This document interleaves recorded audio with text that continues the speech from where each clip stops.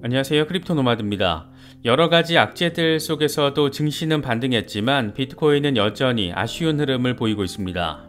뉴욕 증시는 중동 리스크와 더불어서 인플레이션 상황이 악화된 점이 확인됐지만 일제히 상승 마감했습니다. 생산자 물가지수가 5개월 최고치를 기록했지만 그럼에도 불구하고 소비자 물가지수까지 바라보자 이런 판단 유보 스탠스가 나왔던 것으로 보이고 여기에 국제 유가 가격이 급락한 것도 증시 상승에 힘을 보탰습니다. 정리하자면 여러 가지 악재들 속에서도 증시는 4일 연속 상승세를 유지한 겁니다. 생산자 물가지수 상황이 아주 흥미롭습니다. 9월 PPI는 전월 대비 0.5%로 시장의 예상치 0.3%를 웃돌았습니다. 전년 대비로 봐도 2.2%로 4월에 2.3% 이후 5개월 최고 수준을 기록했습니다.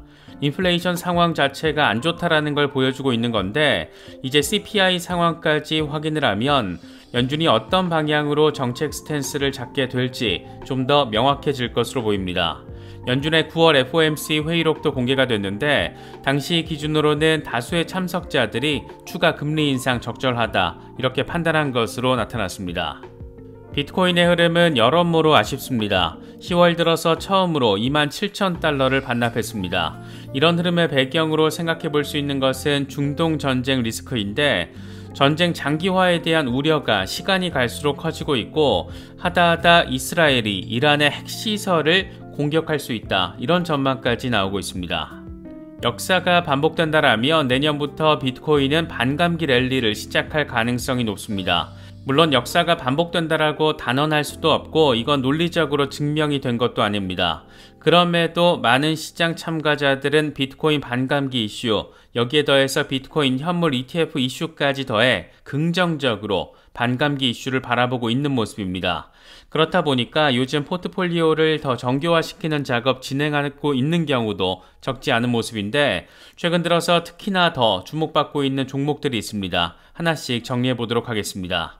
그럼 이번 영상 시작하겠습니다. 뉴욕 증시의 흐름이 아주 재밌습니다. 중동 리스크도 악재, 생산자 물가지수도 악재, 이런 두 가지 악재들만 고려를 해도 증시는 하방 압력을 받을 법도 한데 4거래일 연속 상승 마감했습니다. CPI 결과까지 바라보자라는 유보적인 심리와 더불어서 중동 리스크 역시 전쟁 확전 가능성에 대한 전망과 그렇지 않을 거라는 반론이 공존하면서 상당히 모호한 분위기도 감지되고 있습니다. 인플레이션의 방향성은 좋지 않아 보이고 여차하면 더 좋지 않을 수도 있는 그런 상황입니다. 9월 생산자 물가지수 PPI는 전월 대비 0.5% 오르면서 시장의 전망치 0.3%보다 높았고 전월 대비로도 2.2%로 4월 이후 5개월 최고 수준을 확인했습니다. 특히 휘발유 가격이 전월 대비 5.4%나 상승을 하면서 PPI 상승을 견인한 것으로 나타났습니다. 우려했던 유가 고공행진이 인플레이션 악재로 작용하고 있다라는 신호가 떡하니 이렇게 포착이 된 겁니다. 통상 PPI는 CPI의 선행 지표로도 해석되기 때문에 이번 CPI 결과에 따라서 인플레이션에 대한 방향성 조금 더 명확해질 것으로 예상됩니다. 국제 유가의 경우에는 일단은 하락세를 확인했습니다. 국제 유가의 벤치마크인 북해산 브렌트유는 1.84% 하락한 배럴당 86.04달러를 기록했고 서부 텍사스탄 원유의 경우에는 2.68% 하락했습니다. 이건 이번 하마스 공격의 배후로 지목된 이란이 지들도 하마스의 공격에 깜짝 놀랐다, 깜놀했다, 뭐 이런 내용을 담은 뉴욕타임스 보도가 나와주면서 이번 분쟁이 중동 전체로 확산될 거라는 우려를 줄여주는 그런 역할을 하기도 했습니다. 9월 FOMC 회의록도 공개가 됐는데 당시만 해도 다수의 참석자들은 한 번 더 금리를 인상하는 것이 적절하다라고 판단을 했고 일부는 추가 인상이 필요하지 않을 것으로 판단한 것으로 나타났습니다. 다만 모든 참석자들은 인플레이션이 지속해서 목표치를 향해 하락하고 있다라는 확신이 들 때까지 한동안 제약적인 정책을 유지해야 한다는 점에 동의한 것으로 나타났습니다. 이건 인플레이션이 2% 근처로 내려올 때까지 고금리를 유지하겠다. 뭐 이런 의미로 지금 상황을 놓고 보면 이렇게 될 가능성이 상당히 높아진 것으로 봐야 하지 않을까. 뭐 그런 생각이 들기도 합니다.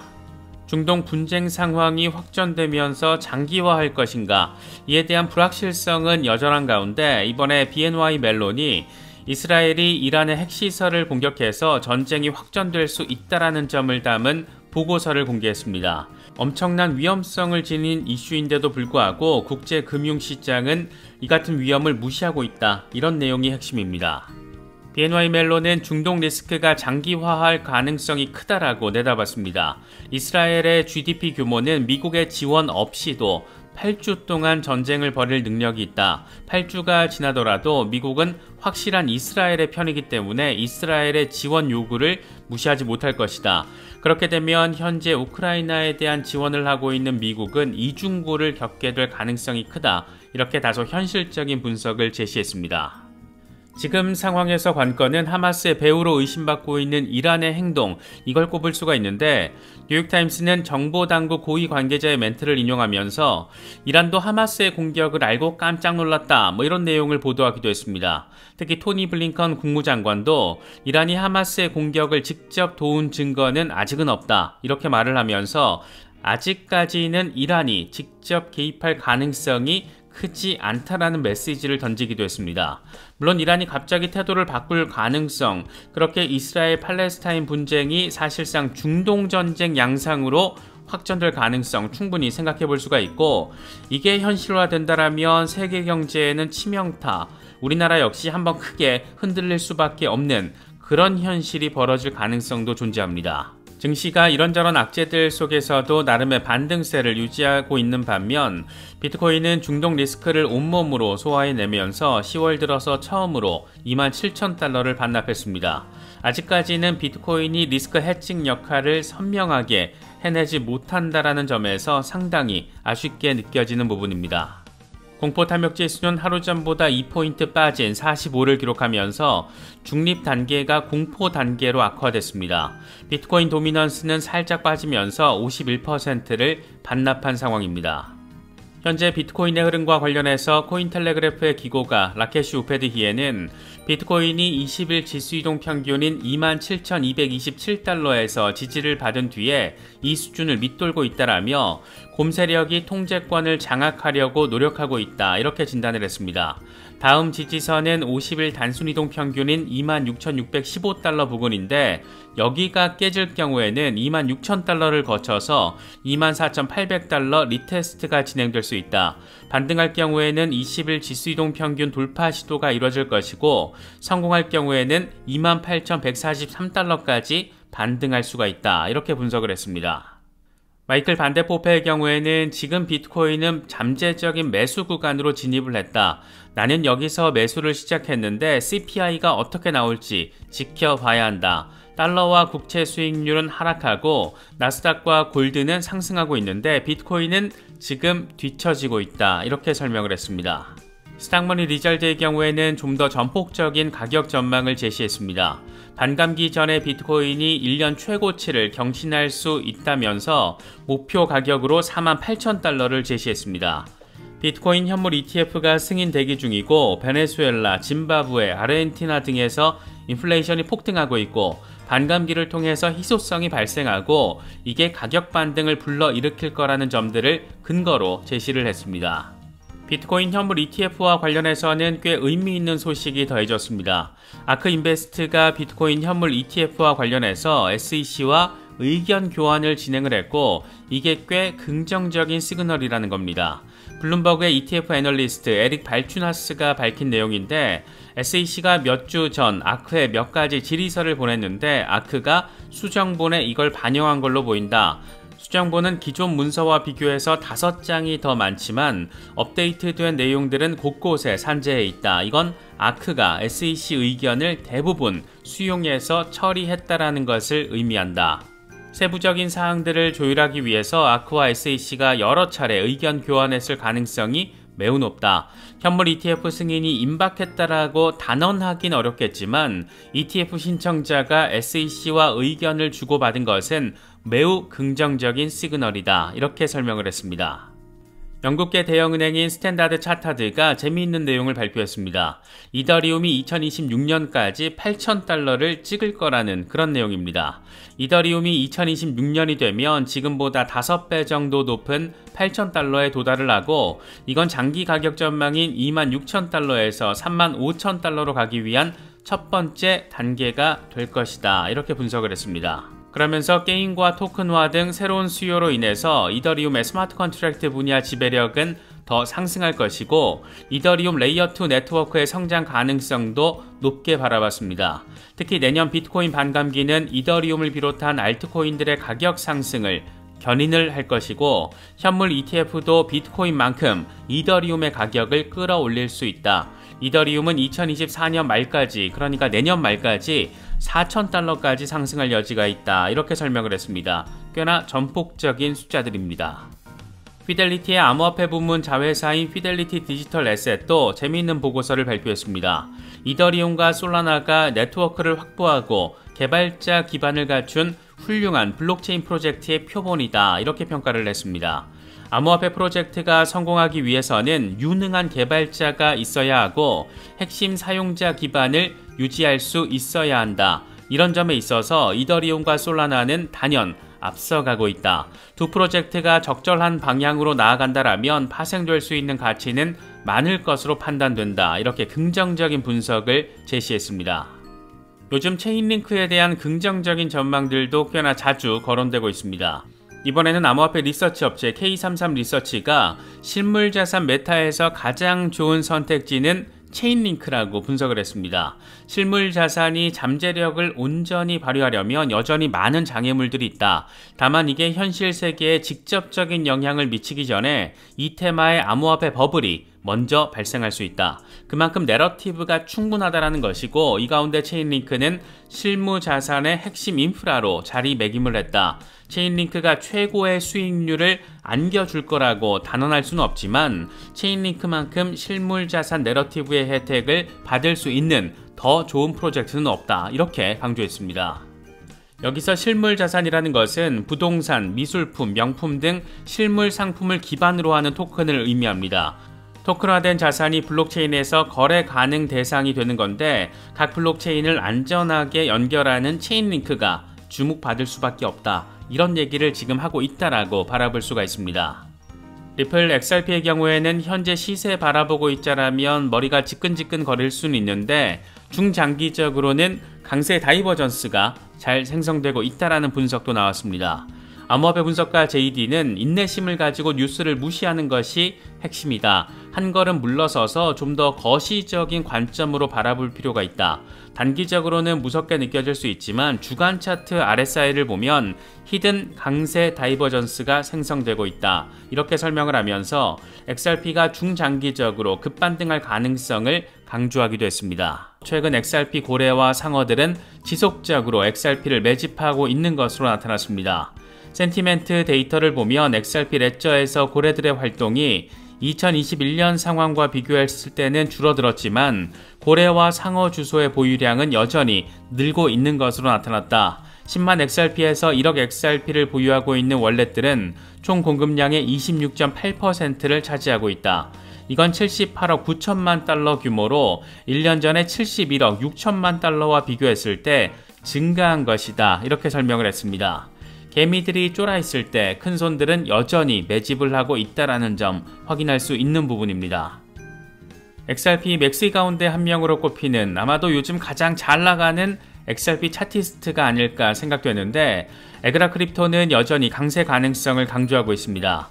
간단히 정리를 하면 0.41달러 지지 라인이 워낙 견고하기 때문에 여기서 지지를 잘 받고 0.55달러 돌파가 엄청 중요한데 이게 성공을 하면 하늘의 불기둥이 될 수 있는 이른바 god candle이 만들어지면서 1.12달러까지 나아갈 수 있을 거라는 내용입니다. 함께 공유한 주간 차트를 보면 2021년 고점 때 갓캔들이 만들어졌고 그때부터 0.55달러 부근이 강력한 지지 라인으로 작용을 했지만 2022년 이후 이게 강력한 저항 라인이 된 상황을 확인할 수가 있습니다. 7월 13일 약식 재판 판결이 나온 뒤에 강력한 한방으로 이걸 뚫어냈지만 여전히 저항 라인으로 작용을 하고 있는 게 다름 아닌 0.55달러 구간입니다. 그만큼 저항은 강력하지만 일단 지지세만 확인을 하면 강력한 지지 라인으로 전환될 수 있고 이후에 god candle 한번 세워지게 되면 1.12달러까지 나아간다 뭐 이런 얘기를 하고 있는 겁니다. 이 차트도 지금 엄청 공유가 많이 되고 있는데 XRP가 월간 차트를 통해서 과거 9만 5천% 랠리 직전에 형성했던 삼각 패턴을 지금 거의 똑같이 형성을 하고 있다. 다시 말해서 상승 삼각 패턴 상단 돌파 직전이기 때문에 몇 달 안에 어마어마한 반등이 나올 수 있을 것이다. 이런 역사적인 패턴의 반복성에 대해서 이야기를 하고 있습니다. 굉장히 자극적인 숫자이기는 한데 일단 에그라 크립토가 이야기한 1.12달러만 가줘도 참 좋겠다. 뭐 이런 생각이 드는 것은 꼭 기분 탓만은 아닌 것 같습니다. 요즘 리플과 관련해서 이런저런 음모론 수준의 이야기들을 종종 확인할 수가 있는데 최근에는 포브스 보도 내용이 확대 해석되면서 XRP 만 달러 이슈로 번지기도 하며 커뮤니티가 들썩이기도 했습니다. 이번에는 블랙록이 XRP를 매집하고 있다라는 루머, 완전 음모론 수준의 이야기들이 maxi들 사이에서 도배가 되고 있는데 재미있게도 블랙록 XRP 커넥션이 무게감을 갖고 또 확산되고 있는 그 배경에 이번에도 역시나 포브스가 자리하고 있습니다. 포브스 기사의 제목은 이렇습니다. 블랙록 출신의 내부 인사가 말한 내용이고 17조 7천억 달러 규모의 돈이 월스트리트 지각 변동을 일으킬 수 있는데 이건 비트코인과 이더리움 XRP 가격을 끌어올릴 수 있다. 뭐 이런 내용입니다. 기사에서 소스로 삼은 블랙록 인사이더는 블랙록 전무이사 출신 스티븐 쇼엔필드인데 이 양반은 최근 런던 컨퍼런스에 참석을 해서 SEC가 비트코인 현물 ETF를 승인해서 시장에 17조 7천억 달러 규모의 돈이 들어오는데 이제 불과 몇 달밖에 남지 않았다 이렇게 예측을 했습니다.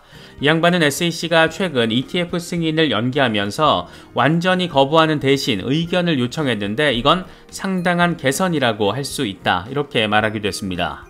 재미있는 건 이 부분입니다. 블랙록 내부 인사는 비트코인 현물 ETF가 6개월 안에 승인될 것으로 전망을 했고 이를 통해서 17조 7천억 달러 규모의 돈이 월스트리트로 들어올 수 있다. 뭐 이런 얘기를 한 것이고 그 어디에도 비트코인 현물 ETF 승인으로 XRP 가격이 펌핑될 것이다. 그럴 가능성이 있다. 이런 멘트를 제시하진 않았습니다. 그런데 참 흥미롭게도 포브스는 비트코인 현물 ETF 승인으로 비트코인과 이더리움 XRP 가격이 급등할 수 있다라고 제목을 잡은 겁니다.